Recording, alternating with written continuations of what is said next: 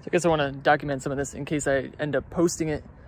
But I have here my new to me 90s, 1997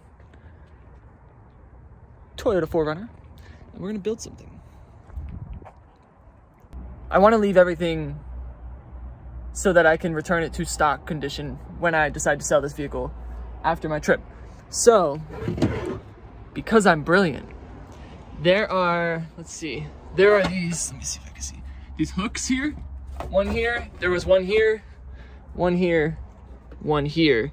I pulled them out, and now I'm gonna use the, the pre-existing holes and, uh, you know, mount my, mount my subframe straight into the vehicle.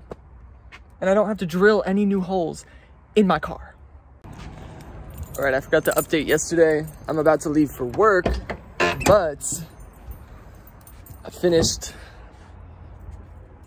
the frame. And uh, like I said, I bolted it right into body of the car in four spots, right there.